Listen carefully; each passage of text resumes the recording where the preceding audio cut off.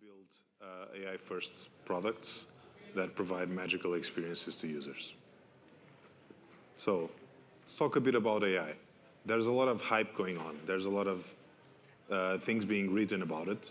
Uh, and a lot of people have very strong opinions about it just being a fad, about it adding actual value.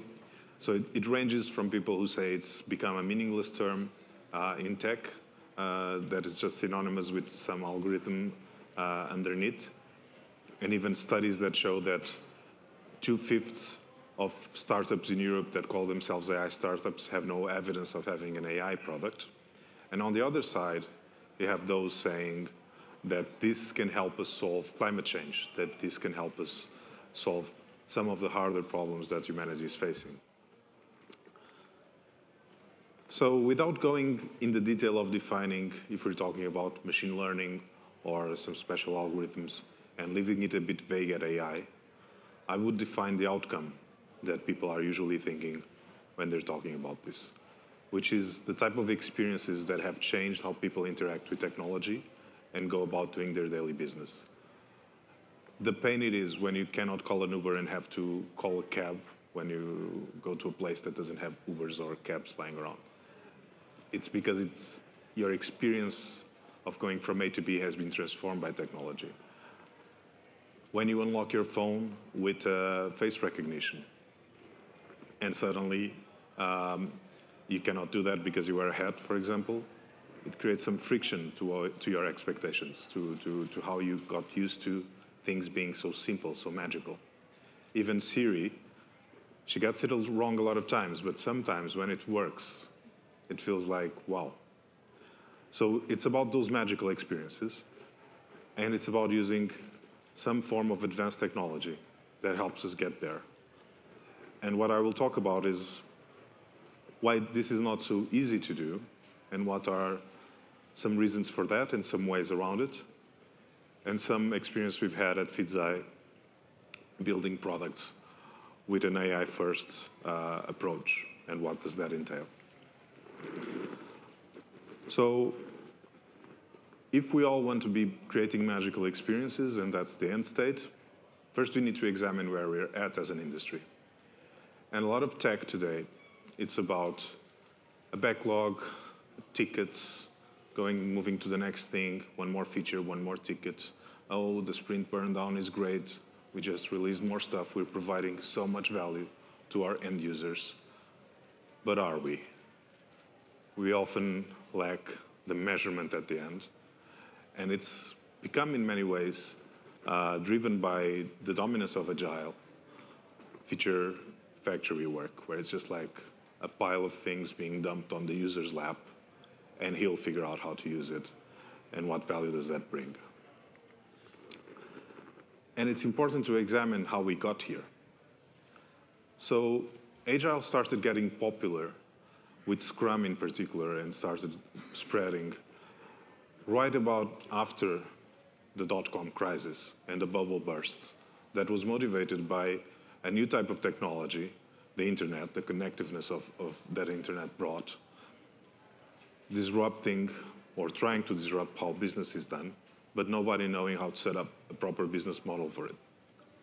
And then people got cautious. They were a little burned with it, so they wanted methods that give us more validation, earlier testing, validating what we're doing, trying to do it step by step and iteratively. And that's not a bad thing, that's a great thing. But it brought us to where we are today. And with emergent technology, like the internet, like AI, the problem is how do you move from what you're used to to the true power of what it can enable? This ship it's one of the first steamships ever built. Uh, it's called Savannah. And it was famous because it crossed the Atlantic. It was the first steamship to cross the Atlantic. You look at it, it looks very strange. It has indeed a steam engine in the middle that powers the wheel, but it also has sails because that's how ships were built. So this is a kind of a um, figuring out how we add this technology to an existing concept, to a legacy product. This is engine inside. You go from pre-engine to engine inside. And that's the metaphor that I'm talking about applied to AI. We often are building just at AI, uh, AI inside, really cool features. So you might have a new feature on your photo app that removes uh, people uh, in the background and just some smart blurring in the background. But it is still a photo app. You still need to do a certain number of tasks to get to a photo, and you just have this gimmicky thing on top. What would be a AI-first photo app? Well, surely it cannot also be automating the whole process. Otherwise, if the camera takes the pictures and people don't do anything, what is it good for?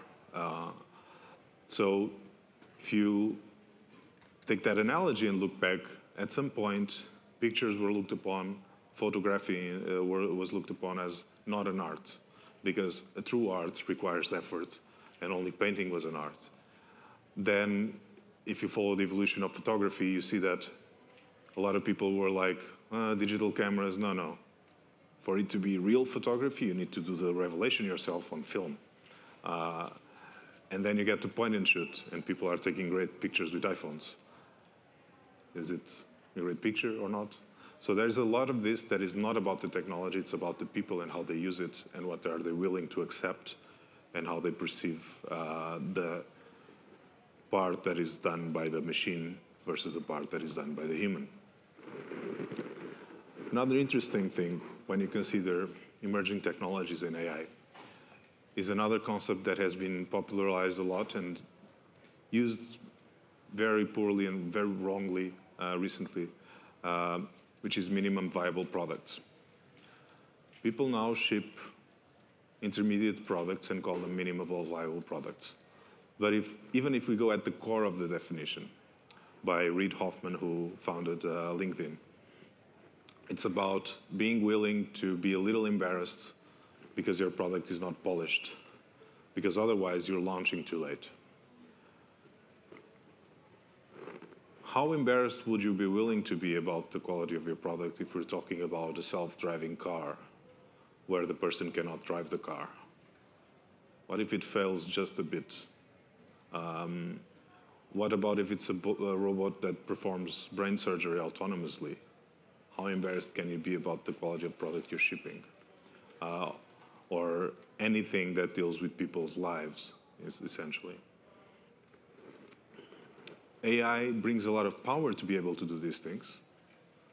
So it requires this thought process of what is good enough and where are we putting our quality checks. And it's definitely not in building incremental features until you have the feature set that works. So fundamentally, designing AI first, starting with AI, is about the roles and boundaries of what humans do and what machines do. And I'll get back to this.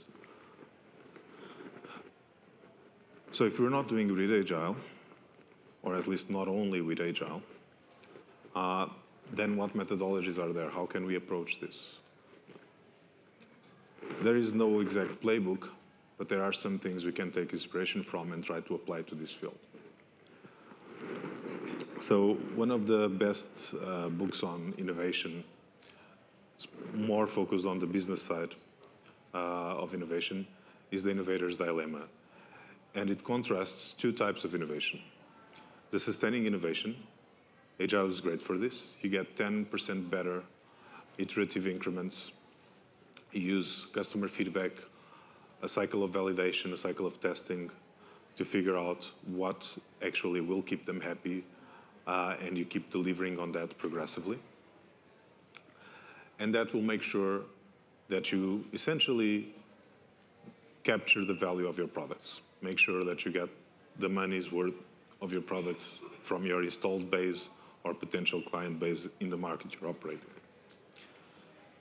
If you want to enter new markets, if you want to do things that take more risk but might have higher payout, then you should have a disruptive approach. You should think about uh, how do we try things that might fail and accept that failure and keep trying. And this is not about going and ask customers what they want. This guy, uh, his name is Steven Sasson, and he built the first digital camera, or at least one of the first, uh, back in the late 70s. And at the time, Kodak was the market leader, and they were one of the technology leaders of that age. They were the Google of their time. It was with Kodak cameras that the photos in the Apollo mission were taken. There were close to 40 million uh, units sold uh, of film cameras around the time that that first digital camera was actually uh, created. And then it went down. Actually, correction, 20 years before was when the camera was created, the digital camera. They were still rising at the time. They got to, in 97, to the, the number I said, and then it went down. And why did it went down?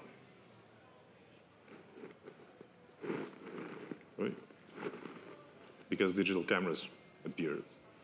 So, and if you plot that, you see that it's just an order, order of magnitude. It completely squashes the previous curve. And that one is also going down. We'll get there. But what's interesting is that Steven worked at Kodak. He worked on their labs, on their R&D. And it was the business execs that didn't get that they had to place these bets, these alternative bets, because they were too afraid of losing the film market where they were also selling the film uh, to take the cameras. I don't know if the audience is old enough to remember you had to put film on the camera uh, for those type of cameras. And um, yeah, they wouldn't approve it. Uh, you're going to cannibalize our core markets. Uh, let's not do it. And that's the sad story of Kodak. And of course, who takes pictures with cameras anymore? We have smartphones. So going back to how does this, how can we apply these lessons from disruptive innovation and avoid the path that Kodak take and steer emergent technology like AI that has huge capability but also some, some risks towards success, uh, successful products, successful interactions that users get in the end. It's about defining the jobs that users get to keep doing and the jobs that they're willing uh, and accepting of letting machines do. So let me give you some examples of this from our work at Feedzai. Uh, what we've built uh, generically is essentially a machine learning platform to score risk and prevent fraud and financial crime. And this is the problem we're tackling. This number is almost doubling.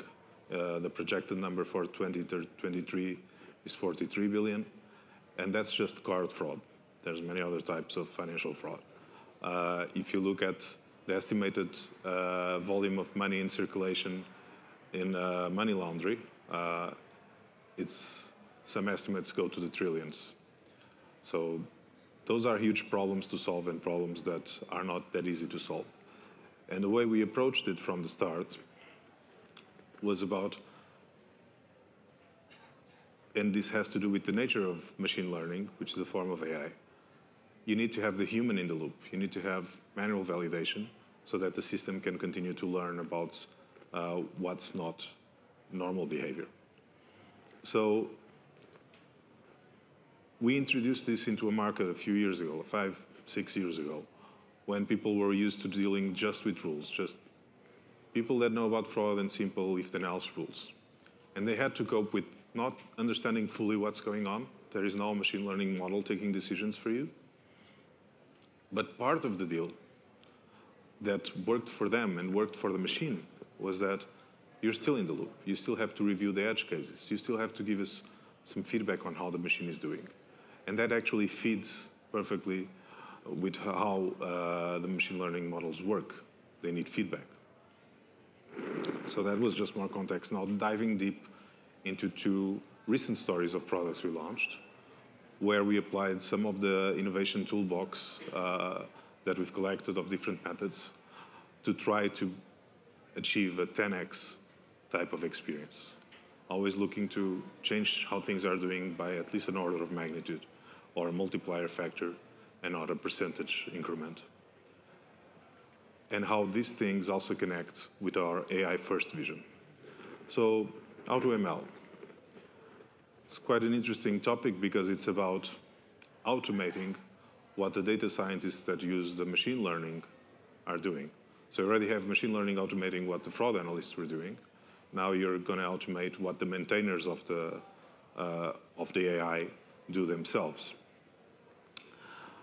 The good thing about this uh, problem is that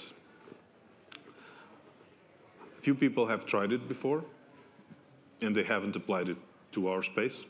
So we took inspiration from that. So one thing we do is we keep tabs on what others are doing in our space. This is something product managers, data science managers, engineering managers are constantly sharing internally.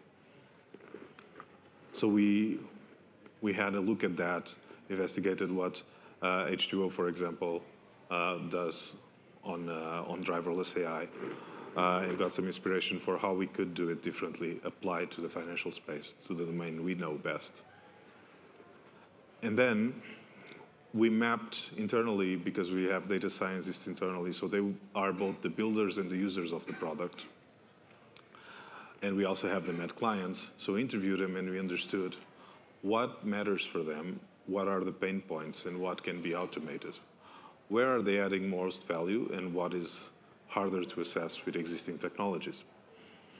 And then we, we went after those things, those quick wins. And where we got at is that a model that is trained just with raw data has a very uh, weak performance in this type of charts. You want the curve to be as close to the bottom uh, left corner uh, as possible. A model designed carefully by two data scientists working for two months gives you a, a much nicer curve and we were able to build something that is very close to that, that only takes one person working a day with the machine to achieve together. And this was something that, that the scientists actually appreciated because they realized it's less uh, monotonous work and they can be acting on models for different clients, for different problems, for different solutions with less effort put in.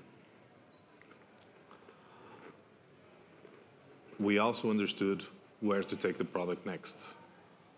What users are willing to let go, that we haven't tackled that yet, is data cleaning. Nobody likes doing data cleaning, and uh, newsflash is more than 50% of the data scientist's job a lot of times.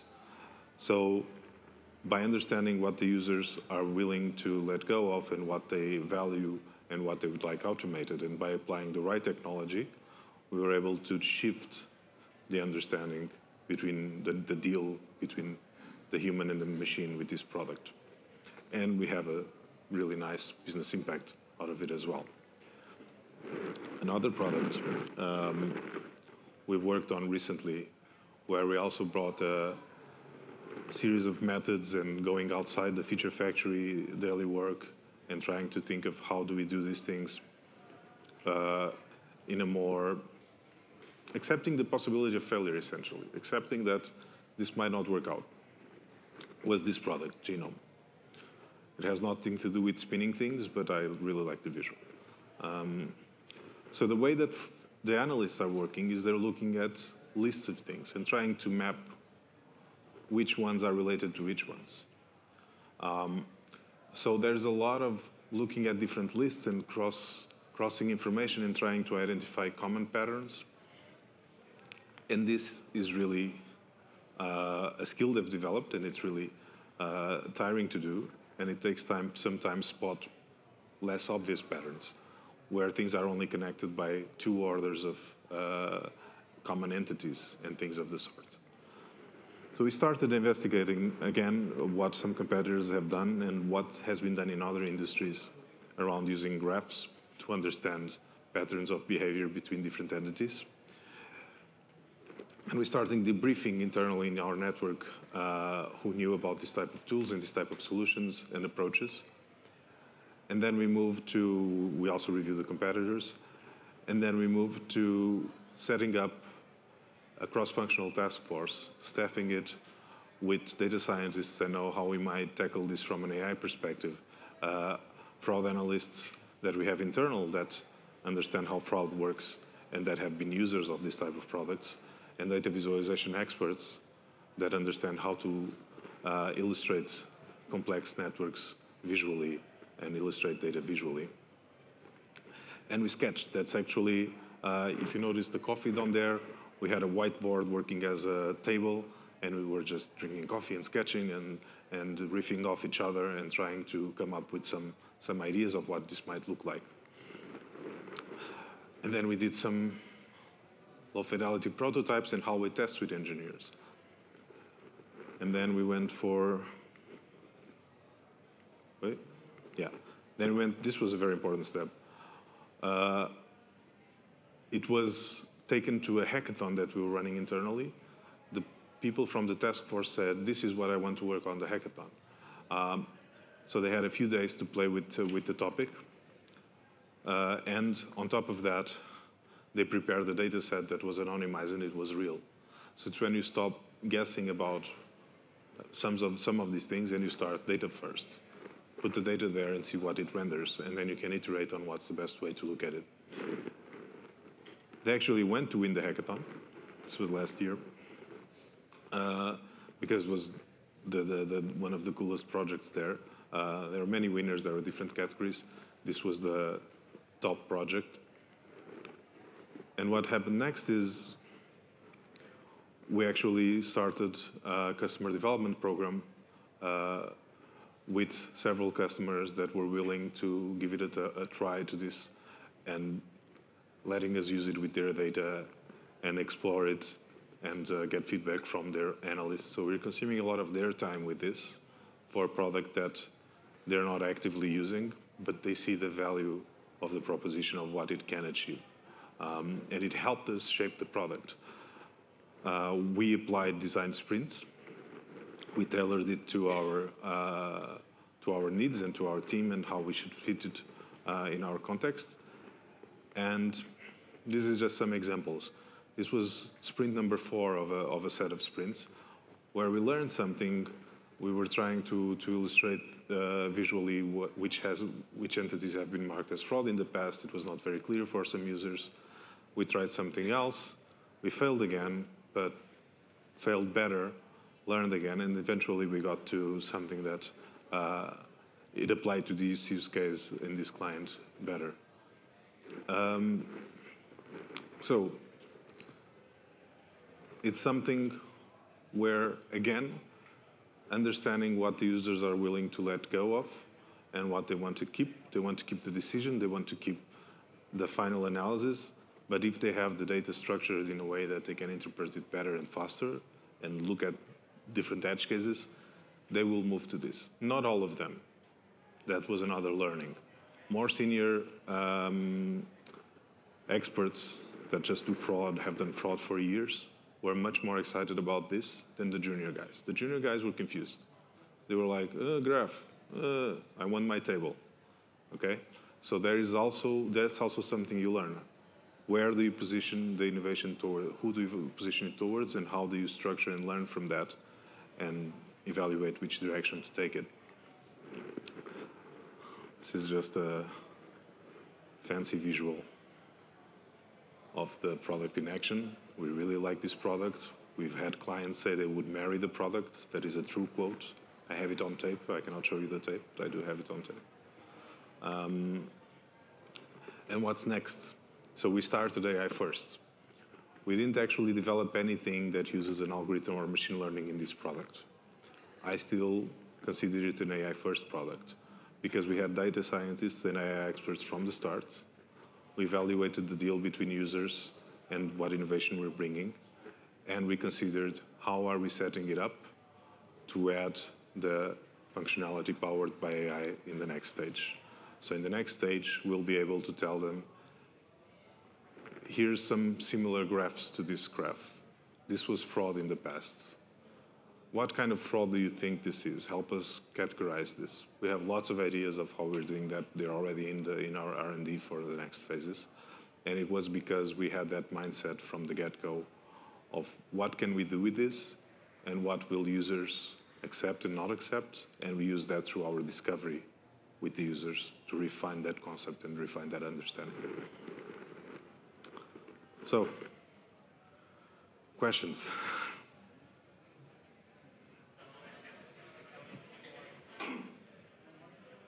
Uh, do we have microphones? Sorry. You're too fast. People usually. Thank you. Uh, my name is Konstantin. Um, I would like to know more about your how you do hackathons. Uh, so, and my question is, do you want to uh, place uh, such anonymized data to platform like Kaggle? It will be in very interesting because you will receive a lot of side views to your data uh, and your new approach. I think it will be interesting. So, do you have any plan about this? I have another question. so I can talk a bit about the hackathons. About Kaggle, I'm not sure if we have had in the past. We have. um, but uh, just come by our booth and we can talk about a bit about what we have on Kaggle. Um, about hackathons. Uh, what we've done uh, twice uh, last year, and we're planning again this year, um, was 48 hours uh, period, so basically two days, where people in the company can work on whatever idea they want. They just get together and hack on what they want. Um, it's something that requires some pre previous setup, so and some internal selling, even to the staff, because people are it's confusing. What is a hackathon? Uh, uh, so we clear those two days. We we ensure that there are no commitments in terms of roadmap, in terms of deliverables uh, in that period. Uh, it's not always possible for all teams, but uh, we do it for, uh, I would say, most most teams. We've had lot of lot of uh, interest internally. People really enjoyed it, and then we give some awards to just showcase and reinforce what we like. I'm sorry it. to interrupt you. Do you use any approach that you are finding during hackathons on your live circles? Yes. So we changed our uh, analytics stack because of a hackathon. It was a major change. We developed these two products. Uh, the first one was more clearly in the hackathon. The other one kind of bubbled up during the hackathon uh, as well. Uh, there was, I think, two, three other product improvements that actually came out of hackathons. Congratulations. So, and one more question. Um, uh, normally uh, any uh, model prediction is a black box. So you don't know why such predictions came out. So if you use some regression model or boosting tree, it's more, more, more or less predictable. But when you use neural networks, it's more black box. Do you have any internal instruments to do um, uh, uh, model introspection and yes. uh, interpretation of the results that you are using uh, that you are receiving yes. during, during your models preparing and how you, what, what kind of these instruments are you using? So we started with uh, random forest algorithms exactly to bypass this problem because they're white boxable. Um, we've uh, implemented a lot of other algorithms, integrated other algorithms from external platforms. And we use either surrogate models already, uh, or surrogate rules to kind of do explainability for that. We're also looking into using LIME as an algorithm that seems to apply to a variety uh, of models, including uh, more black box approaches. That's currently in development, actually. Thank you. Welcome.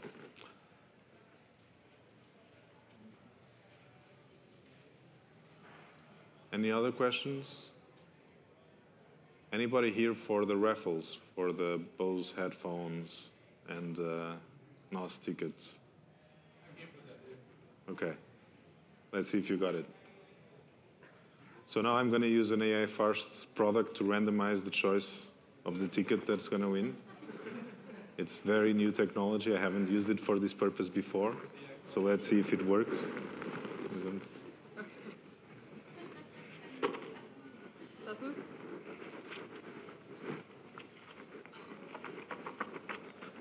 There is no manual for this. It's like AI first. Is it the both first? Yeah, first. Joana Pinto. Joana Pinto around? Data science. No? Okay. So the Boost headphones goes to Joana Pinto. She will be contacted later. All right. And now, NOS Alive.